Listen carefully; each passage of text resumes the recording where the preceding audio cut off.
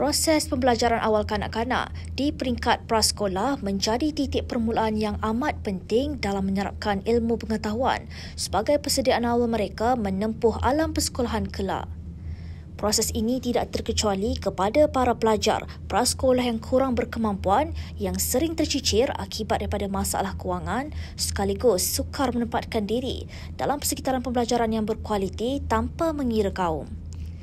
Atas kesedaran tersebut, Smart Reader Worldwide dengan kerjasama Yayasan Tuanku Syed Putra Perlis meneruskan gerak usaha bersama yang telah dijalankan sejak tahun 2008 dengan menyediakan biasiswa pembelajaran sebanyak RM140,000 kepada 13 orang pelajar pada tahun ini.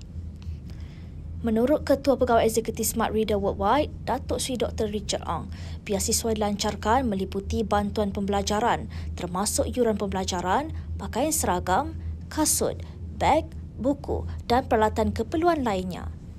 Tambah Richard lagi, bantuan kelengkapan persekolahan ini sedikit sebanyak mampu menampung dan meringankan kos pembelajaran bagi para pelajar yang kurang berkemampuan di negeri Perlis. Thank you.